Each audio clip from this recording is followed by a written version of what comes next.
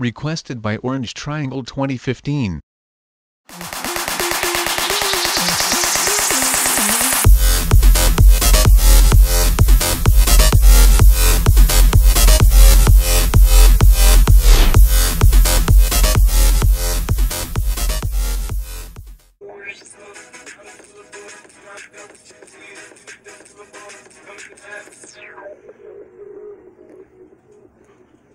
Hey there, guys! Robert here, and welcome to episode 192 of Logo History 2. Before we get started, here's the Logo History 2 rules.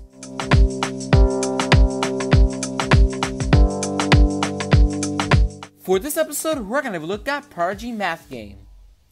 And now, without further ado, let's get started. 2013 to 2014, there's the word Prodigy in gold text. On top of the letter P, there's a wizard hat. 2014 to the present, there's the mascot with the word Prodigy in turquoise text below it. 2020 to the present, there's the shadow of the new mascot that is yet to be revealed soon.